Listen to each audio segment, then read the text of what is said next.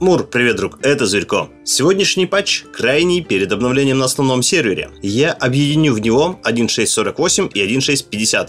Это то, что попадет на основной сервер уже вот совсем скоро. Но давай начнем по порядку, со скинов и героев.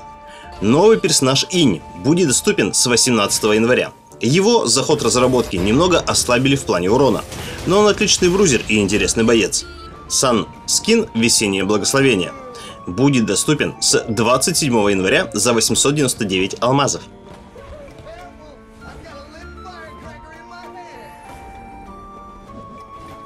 Звездник февраля будет на Сисилиона. Скин называется «Звездочет».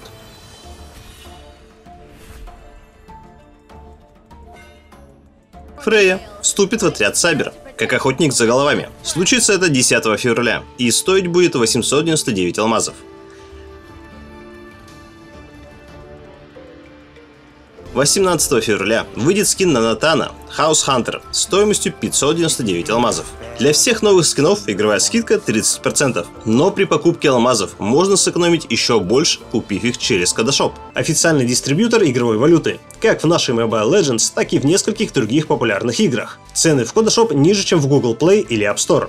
Для пополнения тебе даже не потребуется регистрация. Оплатить можно с помощью карты Visa или MasterCard, Kiwi или Яндекс Деньги. Приобрести можно как алмазы, так и звездного участника. Давай покажу, как это сделать на примере моего ака для стримов.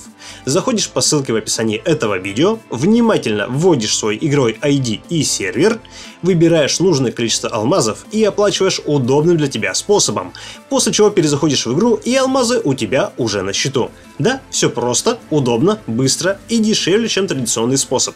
Для удобства можешь сохранить мои ссылки в закладках.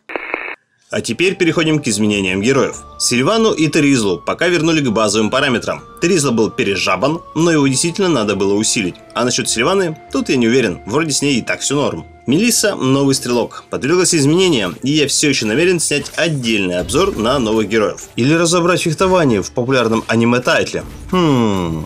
Глу. Решили занерфить. Первый навык. Увеличили время КД на 2 секунды. Уменьшили урон было 360-560, будет 300-450. Зато после принудительного взрыва навык быстро перезаряжается. Второй навык. Уменьшили урон.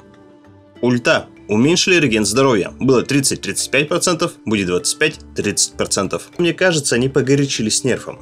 Карина. Первый навык. Перезарядка, которая уменьшалась с уровнем, теперь будет 7 секунд все уровни. Клауд. Немного уменьшили урон от мартышки, пассивки и во втором навыке.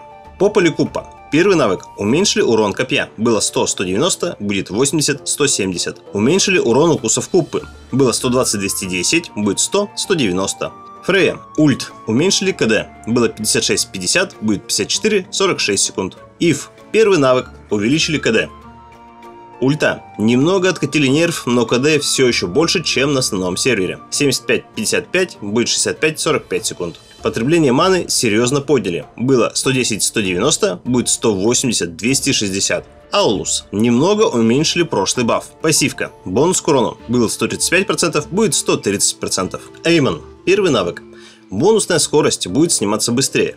Второй навык. Вернули к официальному серверу. Ульта. Теперь урона больше наносит вторая волна ульты, чем первая. Это позволит ловким героям чаще уворачиваться от добивающего удара. Немного уменьшили урон по площади.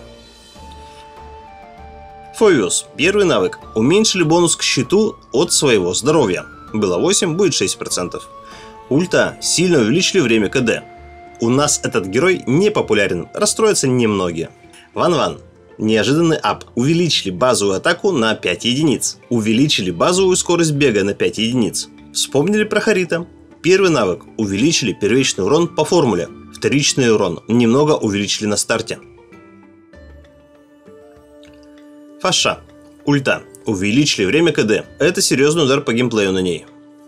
Наталья. Пассивка. Еще больше увеличили урон по крипам. Было 30, будет 50%. Минотавр. Пассивка. Ярость, получаемая от атак, уменьшена.